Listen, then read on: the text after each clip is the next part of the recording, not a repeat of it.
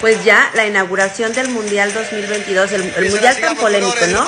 Al que le llaman el Mundial de la Muerte, está ya oficialmente inaugurado en Qatar, donde, bueno, todos los equipos de todos los países que están participando, pues están haciendo presentación. Miren nada más qué les parece, se les hace padre, se les hace futurista. Chequen un país muy polémico, ¿no? Y con muchas restricciones y sin embargo está lleno de gente, sobre todo de mexicanos. Los mexicanos llegaron hasta con la botarga del doctor Simi, llegaron con papitas, llegaron con atún Dolores, llegaron con veladoras de San Judas Tadeo. No, yo creo que no hay como los mexicanos para este tipo de festejación, bueno, de celebraciones, porque la verdad los mexicanos se hacen notar en todas partes del mundo. De hecho, llegó un mexicano con una bocina en la espalda, como la del Pipila, pero en esa bocina estaba diciendo, ya sabes, como cuando vas y, y estás recolectando este, todas las cosas que vendes, ya sabes, ¿no? La de que recolecto ropa vieja, que vendan, recolectamos lavadoras, secadoras, así llegaron, así de chistosos.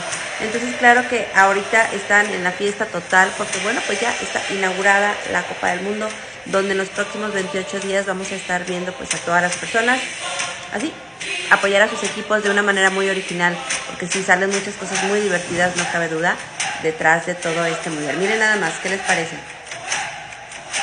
Está muy padre, ¿no? La inauguración, lo que sea de cada quien, está muy padre. A pesar de que muchos artistas recuerden que les cancelaron y dijeron que no, que no querían estar participando porque no contaban ellos, pues no, no participaban con las políticas sobre los derechos humanos que han tenido este, las autoridades de Qatar.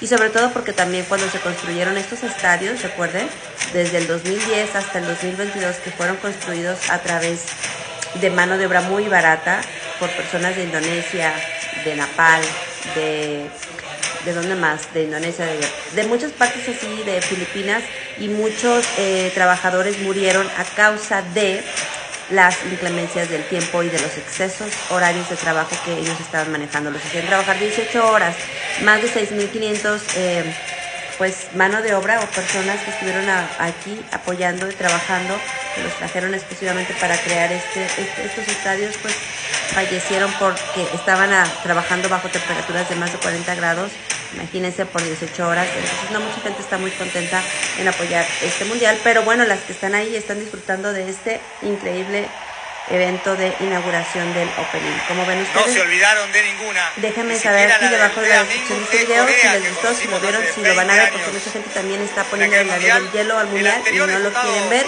porque son muy, muy duros.